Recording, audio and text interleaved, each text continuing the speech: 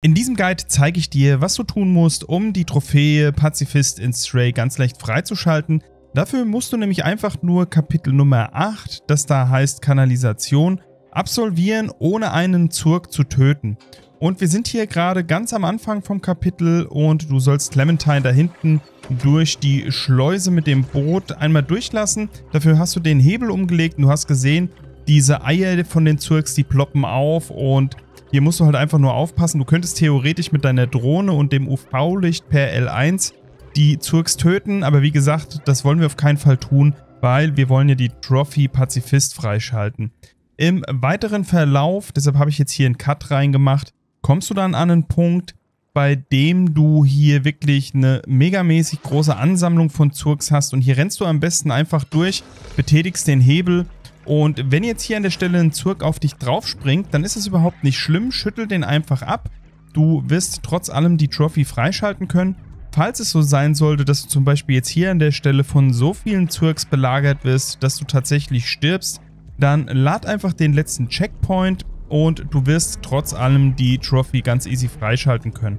Also du musst dir eigentlich gar nicht großartig Gedanken machen und einfach nur mehr oder weniger dem Weg hier so folgen, wie ich dir das zeige. Am besten natürlich auch hier wieder den Zurks so gut wie es geht ausweichen. Du kannst theoretisch auch direkt hier durch diese riesen Eier da durchrennen. Die ploppen dann einfach nur auf.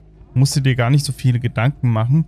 Als zusätzlichen Tipp kann ich dir noch mit an die Hand geben, dass du auf jeden Fall mit dem linken Stick so ein bisschen nach links-rechts schwanken kannst. Also immer so ein bisschen hin und her toggeln. Dadurch kannst du auf jeden Fall ganz leicht den Zurkerden aus dem Weg gehen. Hier kommst du jetzt an eine Schleuse, durch die du durch musst. Da musst du erst rechts und links, beziehungsweise kannst du auch erst links oder dann rechts, die Tür aktivieren mit B12. Ich habe das jetzt hier erst auf der rechten Seite gemacht.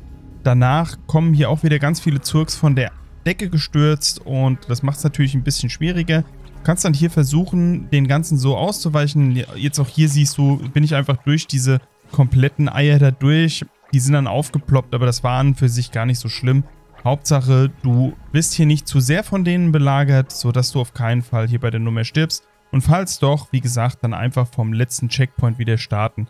Darfst an der Stelle halt einfach nur nie hingehen und mit B12 dann das UV-Licht einsetzen, sodass du die Zurks tötest. In dieser Szene hier bei der Zwischensequenz, in der B12 das UV-Licht von ganz alleine benutzt, da ist es nicht schlimm, das wird auf keinen Fall dazu führen, dass du die Trophy irgendwie nicht freischalten kannst. Du darfst es halt einfach nur selber nie einsetzen. Und jetzt hier in dem Moment kannst du das sowieso nicht, weil B12 jetzt momentan außer Gefecht gesetzt ist. Und hier musst du einfach nur rennen. Und auch hier siehst du, ich schwanke die ganze Zeit so nach links und rechts. Und hier musst du jetzt einfach nur schauen, hier biegen wir jetzt zunächst erstmal nach links ab, dann hier direkt wieder nach rechts die Treppe hoch, hier einfach geradeaus bleiben und dann hier wieder rechts abbiegen, dann wieder direkt links.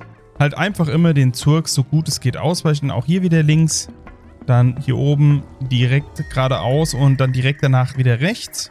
Du siehst, manchmal ist das echt knapp. Und hier unter der Leitung durch, unter dem Rohr durch und dann kommst du hier hinten bei dem Gate an und danach, wenn du hier durch bist, bekommst du auch die Trophy Pazifist. Ich hoffe, mit dem Guide konnte ich dir weiterhelfen und wenn du weitere nützliche Tipps für Stray suchst, dann folg doch einfach hier dem Link. In diesem Sinne, hab vielen Dank, hau rein und mach's gut.